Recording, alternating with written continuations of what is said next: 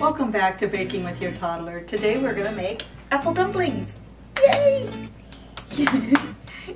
all right, shall we get it all washed up? Let's get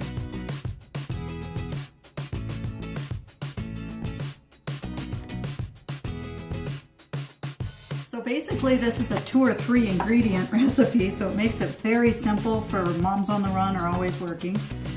Or if you have multiple kids where you just don't have the time to do this sort of thing. And pull, pull here. Pull it. Keep pulling. Pull. Go pull. Unwrap it. He's really, normally it pops by now, but it's apparently going to be a little testy. Okay, I'm just using a pizza cutter to kind of pop it.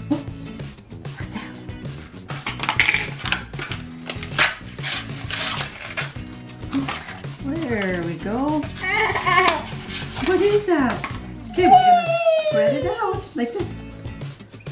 Can you lay it out? Lay it out. That works too. That works, huh? So the nice part about this, it's pretty hard to mess this one up. So even if the kids are squishing it or tearing them, no big deal. But this makes for a real nice breakfast in the morning basically I'm just gonna quickly cut it into little bite-sized pieces. You, some people are like, oh, it needs to be all even, but it doesn't need to be. It's just little bite-sized pieces when it's done. Okay, can you put those in here? Okay, like this. Break it up in here. There you go, good job.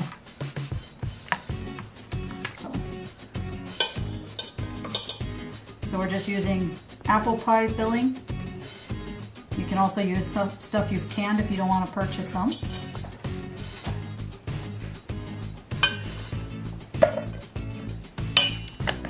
Now this part is optional. You can just stick with that or this adds a lot of extra flavor. So it's just a teaspoon of cinnamon. So go ahead and preheat your oven to 375.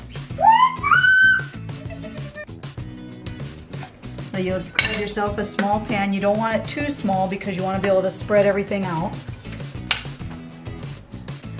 Good job, look at you go.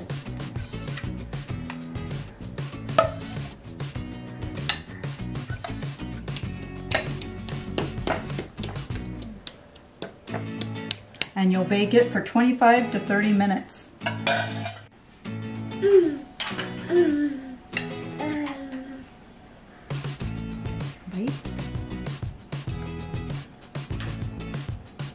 Is it good? Oh, we're getting serious now, huh?